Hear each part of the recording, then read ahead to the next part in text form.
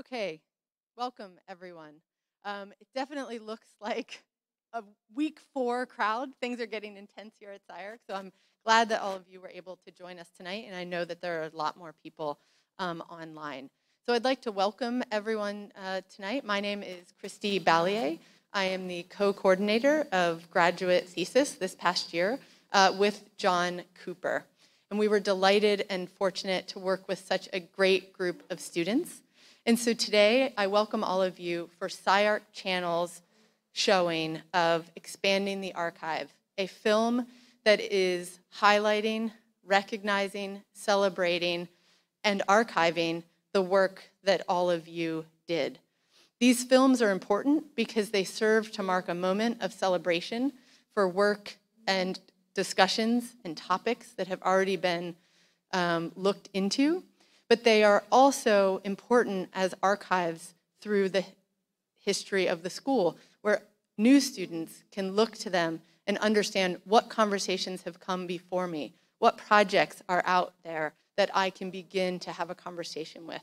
So these films are very important as they celebrate all of you, the 80 plus students that graduated as part of the graduate thesis class this year, but it's also for all of the students that are yet to come into thesis.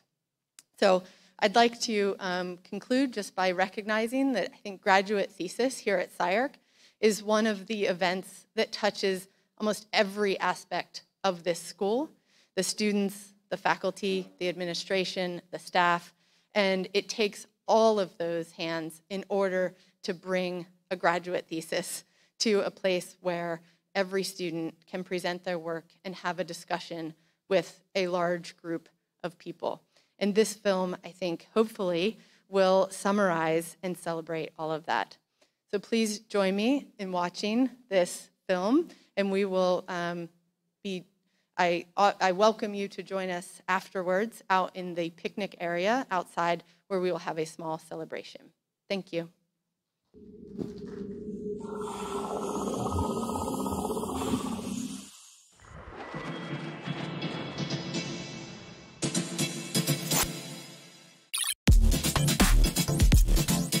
How do we communicate with models, with drawings, with images, with animations, and how do we compile all of those things into a compelling narrative that we can share with many types of audiences. And having this last year and a half sort of in the conversation of what is the thesis? Why is it important?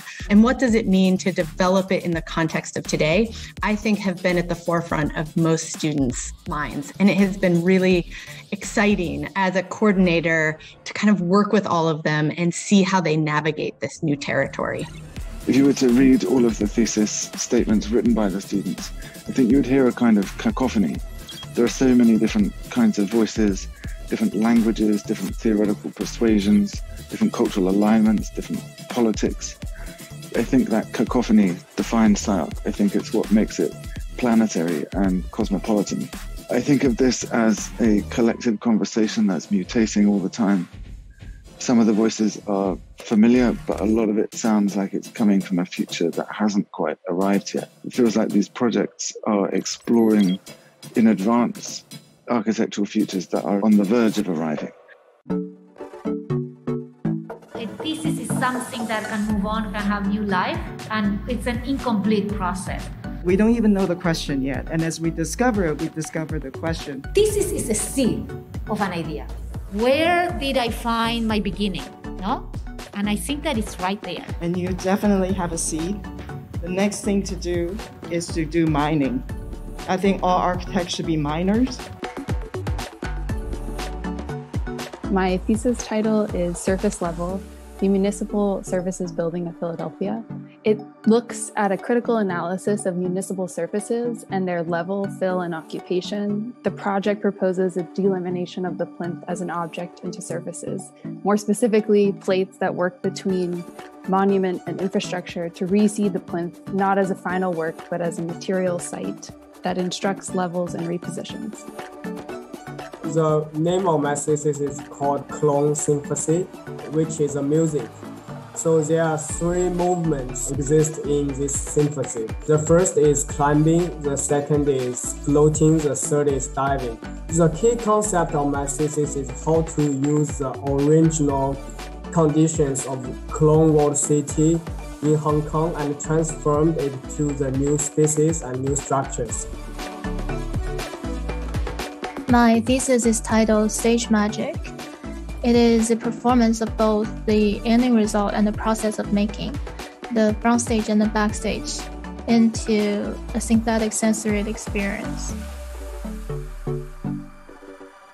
The importance of a thesis, in my mind, really harkens back to the idea that we are trained to not only make wonderful designs, but also be critical of the way we design projects for the environment. Students often think of it as purely a creative act. And I think thesis offers an opportunity to think about how those wonderful design moves are contextualized within the broader discipline.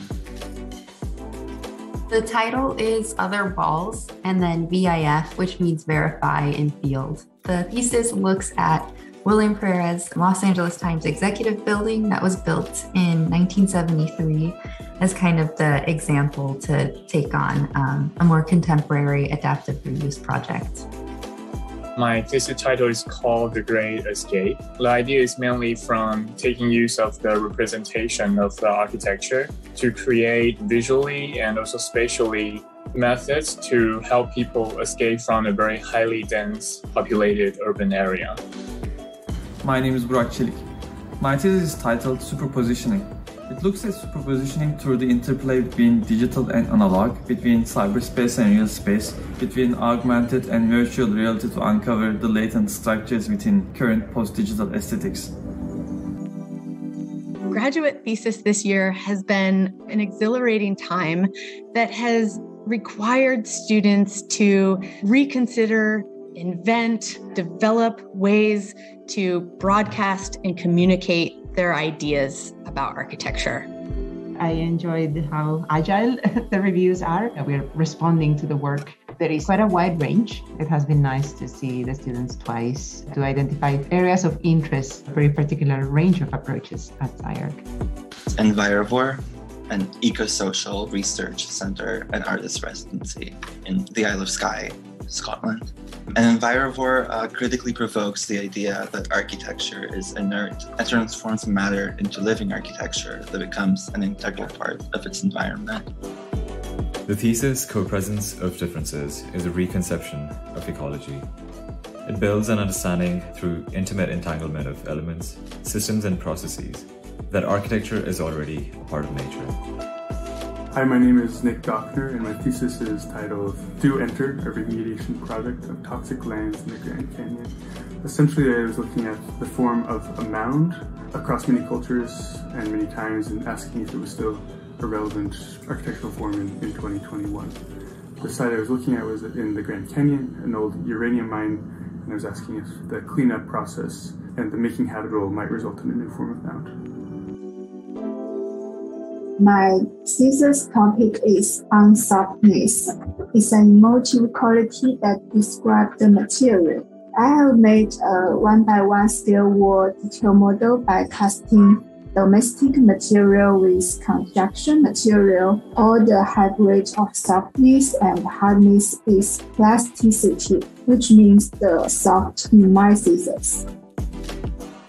Bay Canvas examines the role of architecture in the future spaces of performances, shows, and exhibitions. The project used fashion as a vehicle to present a new typology of space bent on evolving experience of performance and made a production where fashion is exhibited. In a way, the environment and the garment they have to work together. For the MArch, I think that thesis is and should remain more exploratory or open terrain I've seen the best of thesis when students come with a, a, question that is left unanswered in the beginning. And through design iterations and provocative questions, it grows and emerges into something that's powerful. Station of Relief, designing public space for police.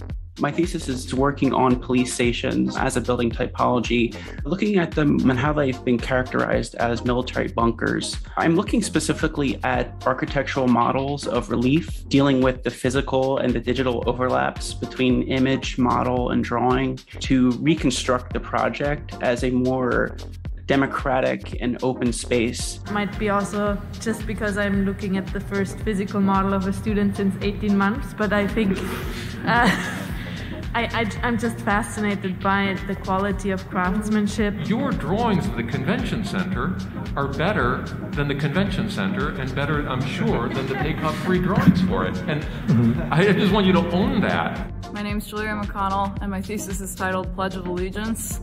The project starts by engaging with political backdrops of increasingly balkanized states like in the United States of America, and further identifying unhelpful singularities noticed in rooms like the Oval Office, which are then architecturalized to convey the kind of diversity, multiplicity, and complexity of any one given situation. The corporeal exchange. My thesis exists in this realm that is between the human body and architecture it relates these sensualities that the body expresses and takes that into the architectural realm with environments, with atmosphere, lighting, materials, and celebrating the idea of the human body. That's a wrap. My thesis is comprised of kind of two tracks. On one hand is sampling, and on the other hand is wrapping. They're neither parallel, but they're kind of intertwined. The overall design seeks to maximize the expressive potential of various architectural configurations by condensing their figurative illusions into one eloquent wrapped gesture, and that's a wrap. The title of my thesis is Atypical, the project that aims to disrupt the architectural performance of fitting in, more specifically with the Californian post war single family home, in an attempt to subvert the elements to kind of create a type that supports nuance and difference. I think collectively there's a massive commitment to kind of urgency about the kinds of questions and involvements that architecture and design seek out. There's a kind of transspeciation of architecture, pushing it to its edges. And in the thesis statements, you see students working that out in a really detailed way that's really to me about the question of who is involved in architecture, who is involved in architecture, who is connected through architecture, and what project does architecture see for itself in the better world of the future. I really enjoyed seeing all the conversations that were taking place within the thesis. And it was really heartening to see so many students engaging with big questions like how technology is changing architecture, how technology is changing our whole lives. I saw quite a broad range of conversations as well, which I think is also something that's really great to see because it's a sign of a school and a student cohort that has a real energy and maturity where different ideas can play off against one another and, and produce really interesting conversations. Machine Heritage is a thesis looking into the regeneration of existing undervalued urban buildings with the development of new valued hybrids within. This thesis is also an exploration of architecture's role in urban memory. My project is orogenesis. What I was interested in was the way that we distinguish natural from man made to try to break down those barriers a little bit because all natural environments are actually a product of human intervention, starting from a point of landscape art, which is a medium that really perpetuates that, and then starting to try and apply that to generating architectural objects that have the forms of landscape objects. Wei Lu, Experience, Experiment, Expectation. My thesis aims to create an Asian futurism to merge the tradition and mystique of the Miao people with technology, based on the parafiction concept that metals have biological qualities. My thesis is titled Woodwork, a new architectural interface, is trying to help architects visualize all the things that are not seen, the externalities of architecture that are usually hidden. Things like the extraction, manufacturing, transportation interface helps architects visualize these environmental consequences so they can make more conscious decisions. The technology always has been the main reason of architecture changes over time. Technology is moving so quickly that it's so important to present these conditions of possibility to try and understand what if this happens and how is it going to play out. There is a way to start to say, look, this could be interesting. You're going to find things that are completely new. The project in itself articulates possibility. Every crisis can be also seen as an opportunity. As an opportunity to resist the desire to go back to business as usual and to build instead a more equal society. This summer has been permeated by a sense of solidarity in support of a more inclusive architecture. Our SCI-Arc students have gifted us with their inventions to visualize the change we all want to see, because the desire for change is the ultimate seed for that change to happen.